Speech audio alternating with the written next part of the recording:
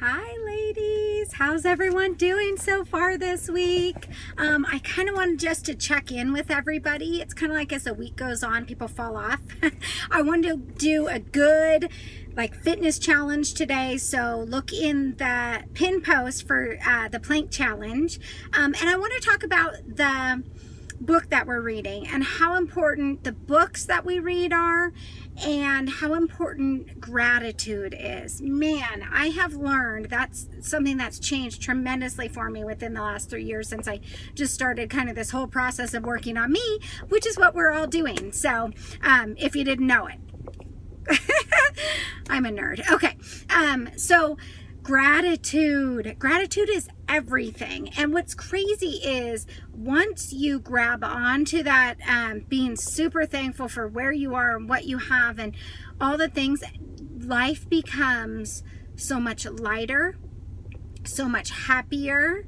Um, and so I have gotten into a habit of if I start to grumble about something or I'm start I'm looking at like what I'm doing wrong or I'm unhappy with something or frustrated, I go to gratitude and I just say, thank you God for that I'm breathing and the super simple things. And then I kind of start building as I go. So let's do a thankful Thursday. You can post what you're thankful for or just think about it and continue to think about it throughout the day. So just kind of be mindful of that, starting off your day that way. And then once you start to grumble or you're getting frustrated or someone cuts you off, say, Ah, thank you that I didn't get in an accident.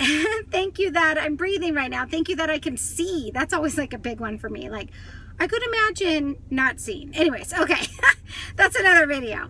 Okay, so I just wanted to talk about gratitude and then the book that we're reading, The Magic of Thinking Big. Um, gosh, it was seem it seems so hokey to me, and I was raised like I don't know, not that big thinking type person. It was like you're skeptical of everything and people like to screw you over and it's like, you know, just not that kind of big thinking. But it is awesome.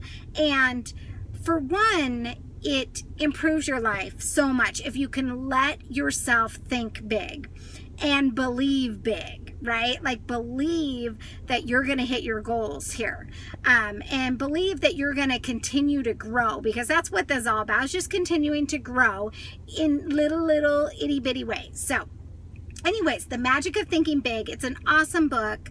Um, so make sure you're reading that. Make sure you're checking the pin posts and do that plank challenge today and be super grateful. Bye, you guys.